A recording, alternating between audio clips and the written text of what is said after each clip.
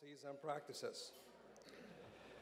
He has served a range of boards and committees, including the U.S. Treasury Borrowing Advisory Committee, the International Center for Research on Women, the IMF's Committee of Eminent Persons, the Peterson Institute for International Economics, and the Carnegie Endowment for International Peace, among many others. And he has shared his knowledge through extensive writings in publications from the Financial Times to The Economist to Bloomberg and the Wall Street Journal. Since 2020, Dr. El-Erian has served as the president of Queens College at Cambridge University. Through all these roles, he has demonstrated and continues to demonstrate his unwavering dedication to the economics and educational ties between the United States and the Arab world.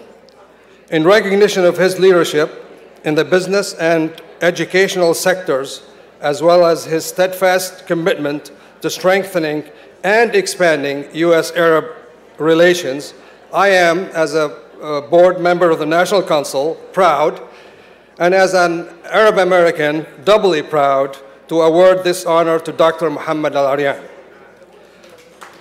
Thank you. While uh, Dr. El-Erian could not be here in person, he has sent a video remarks for us. Thank you. Good evening. It is such an honor to receive this award from the National Council on U.S. Arab Relations. It is even more so to receive it on the 40th anniversary. 40 years dedicated to promoting understanding. I so wish I could be with you in person. Unfortunately, I'm unable to do so. Please accept my apologies.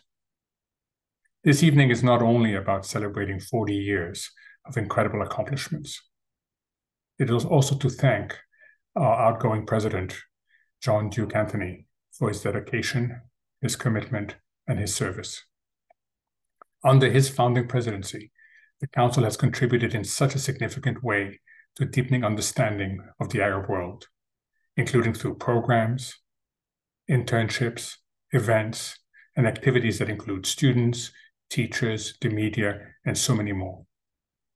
Never has the role of the Council been as important as during this extremely sad and tragic time, a time that is seeing immense suffering and loss of innocent lives, including so many children. I would like to express my deep appreciation and gratitude to President Anthony for all that he has done and is doing. And as the presidency passes on to President Roosevelt, I would like to thank him and wish him great success in this important role. Thank, thank you again for this great, great honor. I wish, I wish you the very best. best.